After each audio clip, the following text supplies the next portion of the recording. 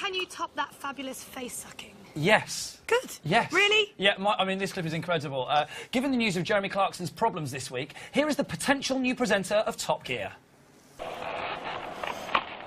Oh, hi there. I'm Inventor Cheers, and today I'm going to show you around my latest Duomobile.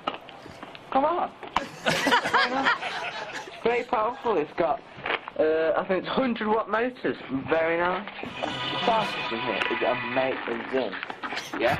It's very nice. Good. To take a test drive. Let's go.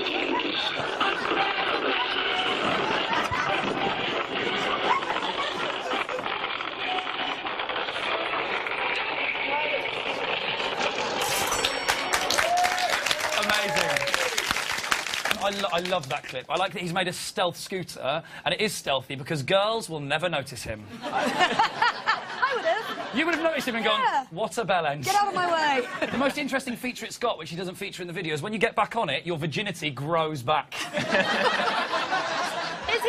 Is he the kind of guy we'd like to see again? Like make another video? yes. Yeah. I'd like to see what other things Would he's you invented. give Would you give money again for him doing another video? Is that I've okay? actually uh, invested 15% into his company. Uh, that, I'm the new Theo Paphitis. Okay, Carly, give us a little taster of what's impressing you this week.